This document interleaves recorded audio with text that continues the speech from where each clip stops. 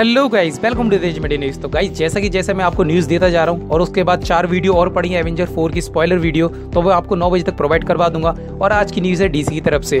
तो finally Aquaman काफ़ी लोग इंतज़ार कर रहे हैं इस मूवी का, और ये एक अंडर वाटर मूवी होने वाली सुपर हीरो डीसी की, और देन काफ़ी कमाल की मूवी होने वाली है। तो मुझे एक्वामैन से काफ़ी उम्मीद है। तो फाइनली ट्रेलर कब रिलीज़ होगा?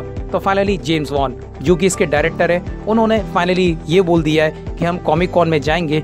पूरी टीम के साथ जाएँगे और एक्वामैन का पहला टीजर ट्रेलर लॉन्च करेंगे। जी हाँ ओनली टीजर ट्रेलर ना कि ट्रेलर तो देखते हैं कि ये ट्रेलर कैसा होगा और काफ़ी लोगों को उम्मीद है कि ये under water super hero movie काफ़ी अच्छी जाने वाली है। शायद इससे डीसी और ऊपर उठ जाए और वंडर वूमेन तो काफ़ी कमाल की मूवी थी और देन एक्वामैन भी शायद अच्छी होने वाली है। तो देखते हैं इसका टीजर ट्रेलर कैसा होगा बट कॉमिक कॉन तक हमें इसका वेट करना पड़ेगा। तो मैं उम्मीद कर रहा हूँ कि इसका टीजर ट्रेलर काफ़ी अच्छा हो। और फाइनली कॉमिक कॉन में इसका टीजर ट्रेलर लॉन्च होगा।